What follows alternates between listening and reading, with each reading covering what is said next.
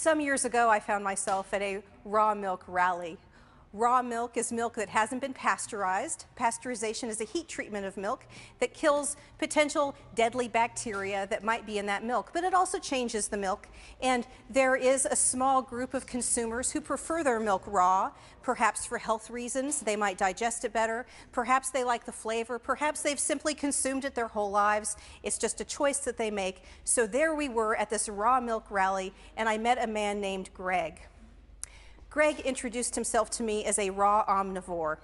And I knew from that phrase that he meant that not only did he eat his fruits and vegetables raw, his dairy and eggs raw, but also his meat raw. And I asked, I mean, do you really eat raw beef and pork and chicken? And I'm thinking about the festering ball of salmonella on my countertop that is a whole raw chicken and how I try to avoid contaminating my salads with it and getting sick. And this guy might eat raw chicken. And he said, you know, you, you do need to treat chicken differently than other meats because in fact it's far better, it, the flavor is far better when it's at room temperature. And so he suggested that you take your chicken out of your refrigerator, you put it on your countertop for two or three hours before dinner, let it come to room temperature for the full gourmet experience. He said, but you do have to be careful. There was that one time. He took the chicken out of his refrigerator, he put it on the countertop in anticipation of dinner that night, but he got sidetracked. He ended up having dinner elsewhere, and then he went on a three day vacation with his girlfriend. They returned back to the apartment three days later, forgetting entirely about the chicken the whole time until they opened the door of the apartment. And as they were greeted by the stench of the rotting chicken in the kitchen, they walked across the apartment, peered over the chicken on the countertop, and noticed that not only was it stinking and rotting, but it had turned a little bit green. And Greg turned to his girlfriend and said, You might have to take me to the emergency room after this one. He proceeded to eat the chicken. He lived to tell the tale, and he didn't even have to go to the ER that day by some miracle. But Greg embraced a food philosophy that he would live a longer, healthier life if he ate all of his foods raw, including meat. And embracing this philosophy, he also embraced the risk in his decisions. He recognized the risk on that memorable day, in fact, eating a food that probably none of the rest of us would choose to eat. He embraced the risk and ate it anyway. An example, in my opinion, of exercise and free choice of food. And I'm going to ask that we all be a little more like Greg to improve the climate of free food choice in this country. But keep in mind, you don't actually have to eat stinking green raw chicken in order to do that. But increasingly, consumers in the United States are being asked to make specific kinds of food choices. We should eat all of our foods whole, nothing from a box. If you're going to eat corn, for goodness sakes, choose corn that's not been genetically modified. Eat a vegetarian diet. Don't eat anything that's not plant based, that has eyeballs or a mother. And if you are going to have milk, make sure that it's raw. At the core of all of these calls to actions for consumers is very complex information. If you think about it, I mean, really, do we know about plant genetics as consumers enough to decide if we should go in and make a choice of a GMO food versus an organic food? How do we know that? How do we make that kind of complex decision? Milk microbiology. Should I drink raw milk? It's a complex decision at its core. How do we make this decision? I conducted a survey of raw milk advocates some years, years back that actually gave, gives us a little bit of a window into how consumers make these decisions. And so among advocates, an important area of discussion is actually policy. Advocates are seeking policy change. And in the world of raw milk, policy change means having better access to raw milk in the retail marketplace. And so when you walk into a store, raw milk advocates want you to be able to select raw milk right there next to pasteurized milk. And here in California, we actually have very liberal access to raw milk, and we can go in and buy it in a store. But in other states, you need to go and buy it directly from the farmer, or um, in, in some states still, you need to own part of that cow. There's actually cow share programs where you buy a portion of the cow, you pay the farmer to take care of the cow, to milk the cow for you, and you get the milk in, in, in return. In other states still, there, are no, there is no way to get legal access to raw milk unless you actually are a farmer and milk that cow yourself or milk the goat yourself. And so we have a whole continuum of access to raw milk in this country across all of these different states, and advocates are really pushing for increased retail access in all states. And so we have a continuum where, poli where, where, politics happens here from sales being illegal to retail access to raw milk. But if you think about it in the California case, when we can walk into a grocery store and find both types of milks, we can find, you know, soy milk and almond milk and all kinds of products on the shelf, and we, that's where we're making a choice. And that choice, and whether it's free, and this is the key concept, really depends on the quality of information we have that allows us to, to distinguish between those choices on the shelf. And so we have a second dimension, and that is choice. And I argue that this, in the second dimension, what we want to see in order to see a free choice is that that decision is informed. It's based on information that's relevant to the consumer and that's that's factual to the degree that information is available on it. And it, it's not a free choice if the decision is based on misinformation, and particularly if the choice is guided by misinformation that would otherwise be very important to that consumer making the choice. And as an advocate, I want to see us in this quadrant, which is where we have access to the foods that are important to us, but we also have quality information to guide us in the choices that, that we would ultimately make. And as an example, I might walk into a Lassen's grocery store here in California and buy raw milk. I've consumed it quite a bit in my life, and I know I feel better when I drink it. And so I might reach out, grab that raw milk, even though I know that it has risks, but I've experienced the benefits and I'm willing to shoulder the risks.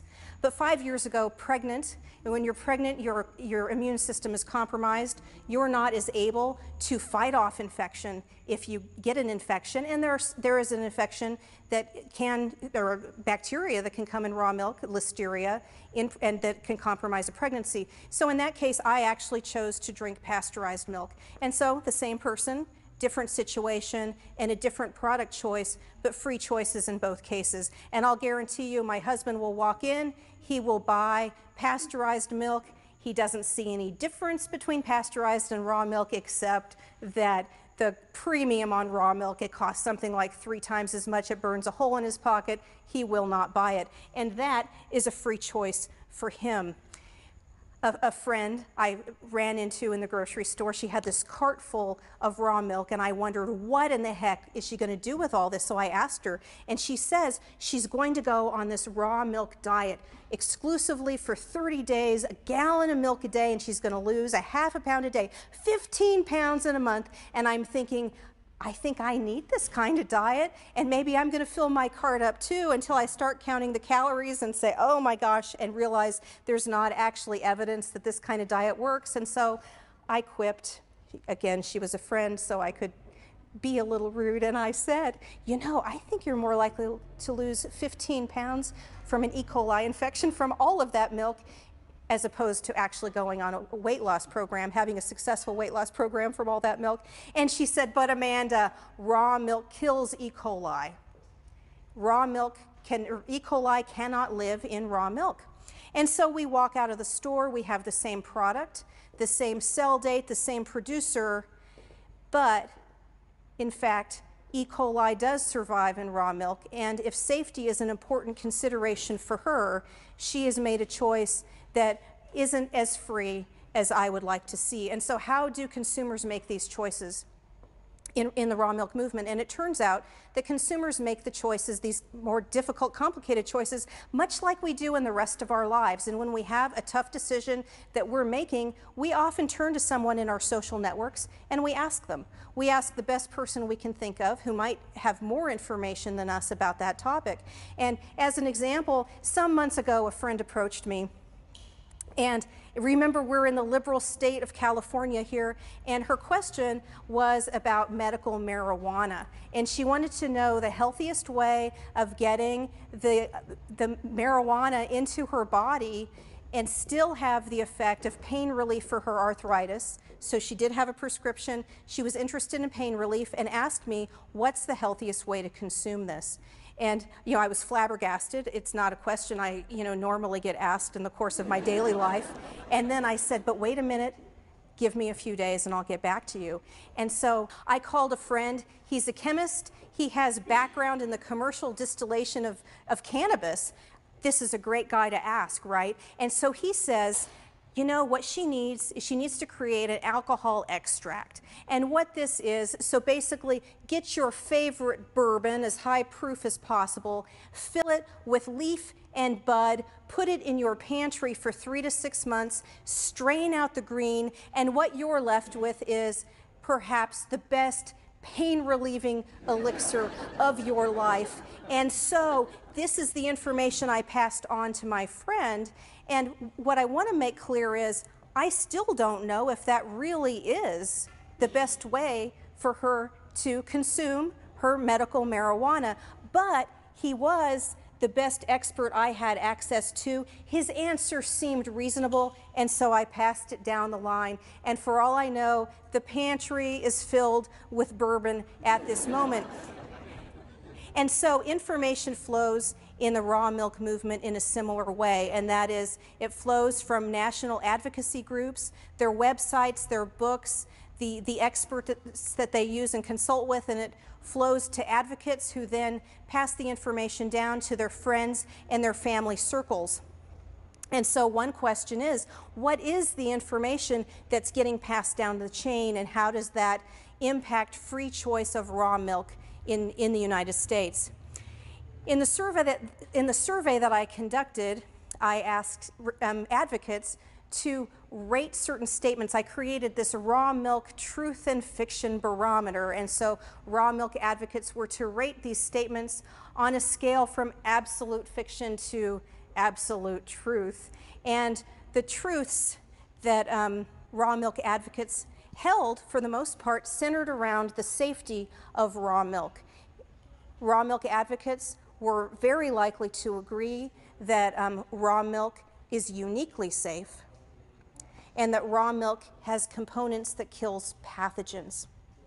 And if you ask them, how do they know that? How is this your truth? They will point to a study done of Campylobacter in raw milk. Campylobacter is a potentially deadly pathogen, and what scientists have done is they'll find and verify a batch of clean raw milk and then they will spike it with, with Campylobacter, a certain strain of Campylobacter, and they will examine it over time to see if it increases, if it decreases, and learn something about the survival of Campylobacter in raw milk as a result.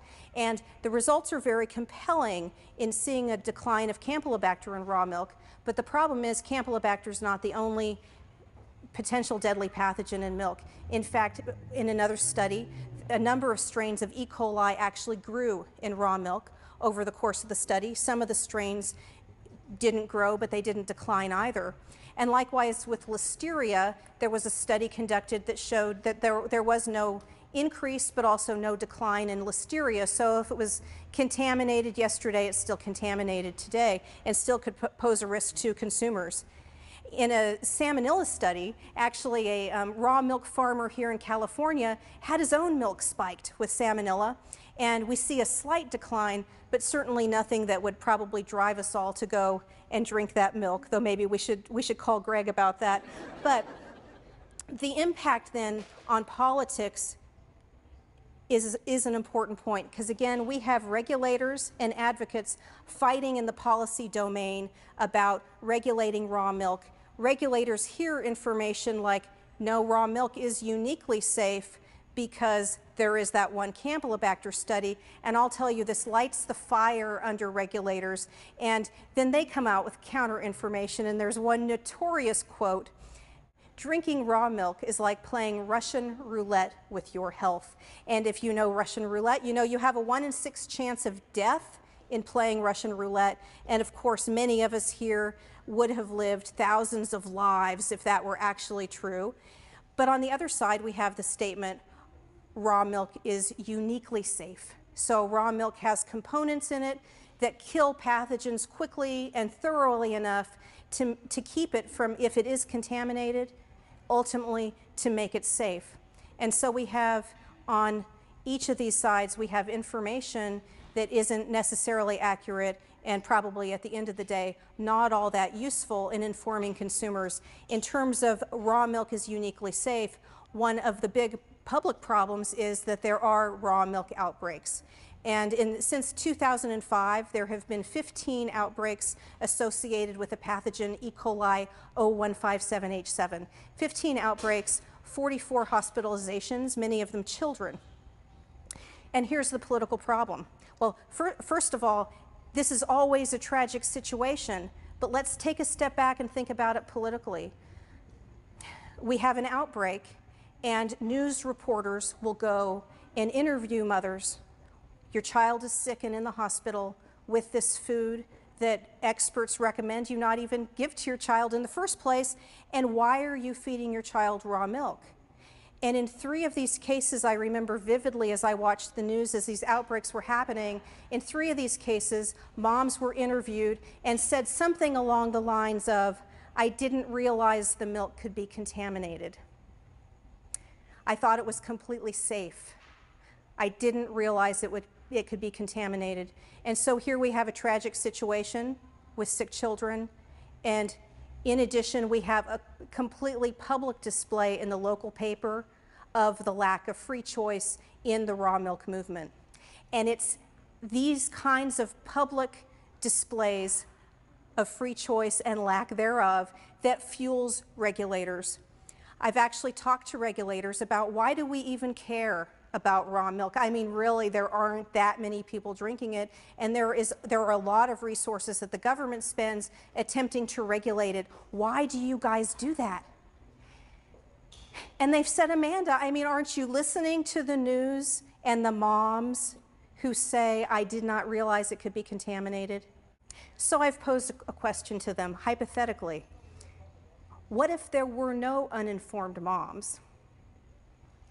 What if all the moms had all of the information that regulators had about the safety of raw milk and they chose to, to to consume it anyway. I mean, for goodness sakes, I've consumed a lot of raw milk in my lifetime, and there was that memorable month of the gallon of raw milk a day, um, a strategy I can't say was a complete success, but people do drink it knowing the risks. And they say, okay, so you and who else? And this is the best opportunity to tell them about Greg and his stinking, rotting raw chicken that, by the way, Greg says tastes a little bit peppery. and this completely stops the conversation because raw milk regulators are not concerned about Greg. They're not concerned about me, and they're not concerned about you either because today you have learned that raw milk can be contaminated.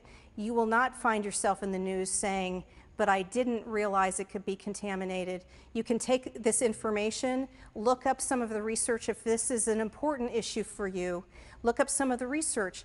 But what I want to emphasize is as we go home to our friends and our family and we advocate for some of these complicated choices that we're facing every day, and we urge our friends and family to make certain kinds of choices, Let's give them all of the information about their choice. Let's give them the good and the bad information. Let's respect that they may make a different choice from us, but that their choice may be then the best choice for their circumstances, a free choice of food.